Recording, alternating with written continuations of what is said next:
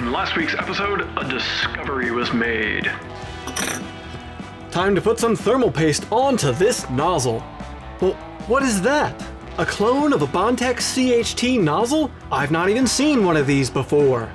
We're gonna have to test this. And so we shall in this video.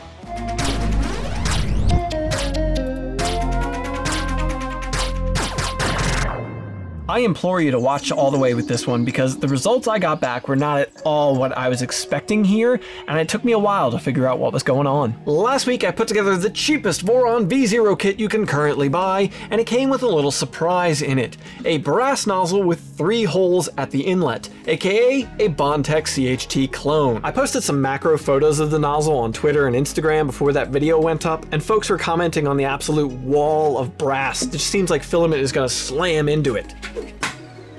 Last week I only had time to do a single flawed flow rate test. This week I have time for a whole bunch of flawed flow rate tests. Let's get one really important thing out of the way. My name is not Stefan, this isn't CNC Kitchen. I am Alan Mandic, Mandic really, and I have major unmedicated ADD, unless you count my only vice as self-medication. The reason I'm telling you any of this is one for a joke and B because this is not a double-blind scientific study. That said, I'm not only going to provide you my conclusions and the data that I was able to produce through my testing, but I'm going to show you what test I ran, how I ran it. I'm to provide you with the STLs and the G codes so you could run this for yourself and test it out, see how it works for you. Let's start off by talking about the equipment we are using in this video. As always, there are timestamps down below if you want to jump around. I used two Voron V0s here the budget kit one that started this whole thing. In here is a clone of an E3D V6 hot end. It has an aluminum heater block with a 50 watt heater cartridge in it and a bimetallic heat break. The direct drive extruder assembly that is feeding filament here is the mini afterburner from the Voron design team, which has Bondtech BMG gears inside of it. The other point one is my self-sourced build that has a Phaetus Dragon high flow variant hot end in it with a coated copper heater block and a 40 watt heater cartridge. The extruder that's feeding the Dragon is a Bondtech LGX Lite. These are two very different machines built on the same platform. Realistically, the only other hardware at play is nozzles for this project.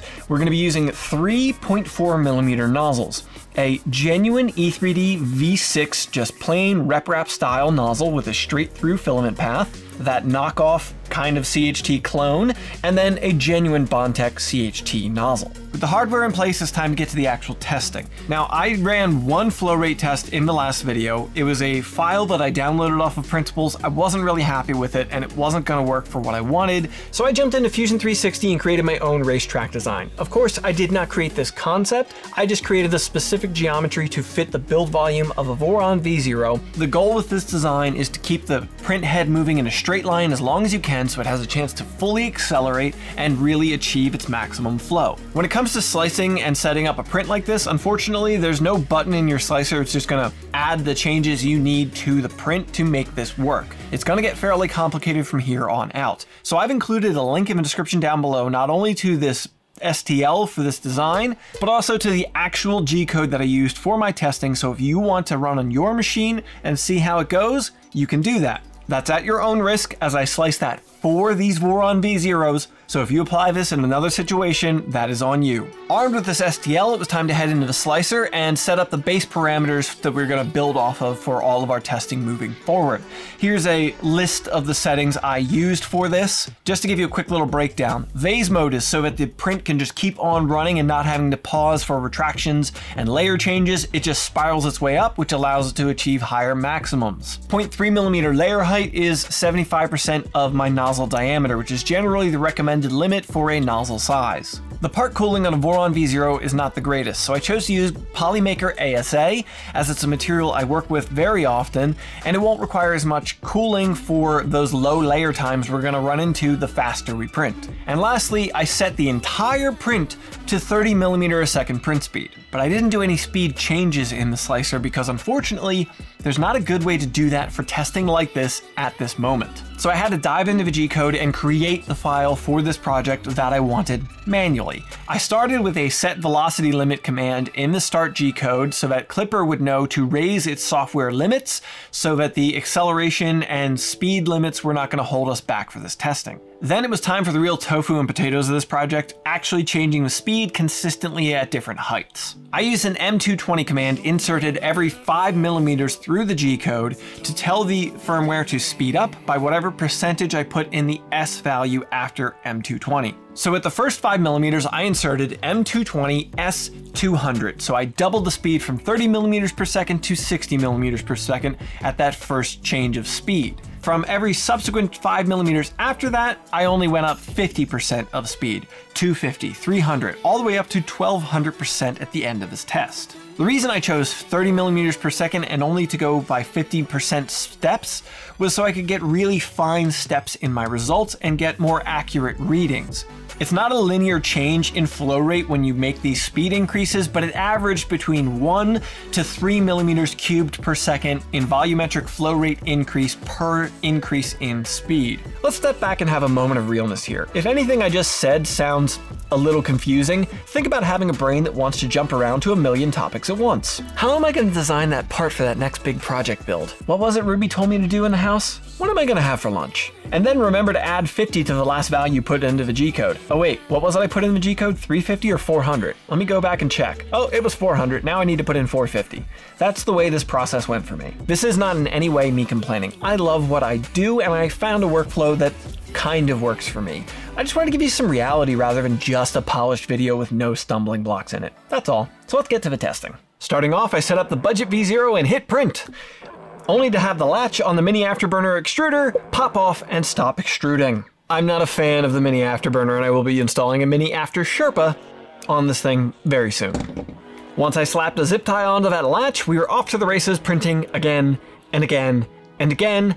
You get the point. Now I ran the same G-code on all of my testing between both machines, exactly the same. When it came time to change nozzles, I'd remove filament, remove the nozzle, put a little bit of fresh slice engineering thermal paste onto the nozzle that was going in, install it, heat things up, do a hot tighten, and then back to testing. Round and round these rats rapidly raced to return results. Disclaimer! The flow rate numbers I'm about to present to you are slicer estimates based off of averages of the results from the prints I got here. I don't have a gigantic sample size, I don't have a bunch of machines to be testing against, so this could absolutely be a deeper study. I would love to hear it if any of you have input on how I can improve results for future testing, or if you want to repeat these tests for yourself and see what results you get, I'd love to hear from you about that. Basically, take these results with a grain of salt. However, there's definitely a distinct variation between these results that's hard to argue with. I started with the Budget V0 with its basic hot end. I printed these tests three times with each of the three nozzles so I could get some averages for my results. What I was looking for is the point in the perimeter where the uh, hot end, the extruder, can no longer keep up extruding plastic and there will be gaps in the wall. I then took these models, I measured up from the base with a set of calipers to the point of failure, noted it, and moved on. And surprising absolutely nobody, here are our results.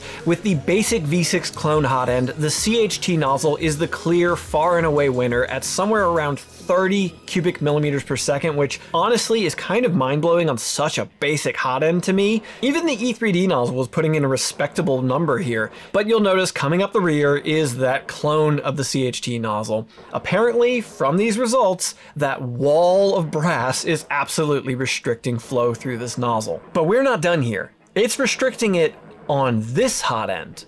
What about the Dragon hot end? When it came to testing with the Dragon Equip V0, I ran the same G-code as the other machine. I also ran three tests on the three nozzles, but the results were nothing like I expected.